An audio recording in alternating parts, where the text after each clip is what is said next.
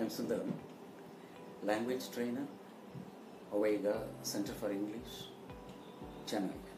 I would like to talk to you about my Flower for English and how it helped me to develop into a language trainer in my later years. Right from my younger days, I have a deep penchant for English language thanks to my English lecturer in college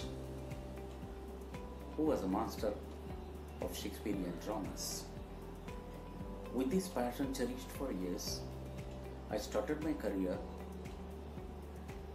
from a renowned language training center in Bangalore as a senior language trainer. In this capacity, I served in CBSE schools across Karnataka for nearly five years as an English trainer. With this experience gained, I started this center for English.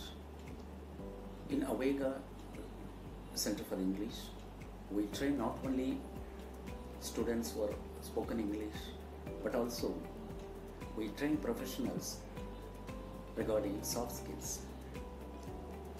We also train online students in spoken English, and our main focus are these two criteria. One, to help the students to unlearn what they have erroneously gathered all through the early stages in English literature. Two, to train them in proper communicative English without any grammar or pronunciation errors. To achieve this aim, we make our students meticulously pass through three important stages. Number one is incubation and nascent stage. Number two, germination and budding stage. Number three, fruition and full fledged stage. We have set the syllabus for the students in such a way that it's a pleasant experience learning in a Vega in each and every stage.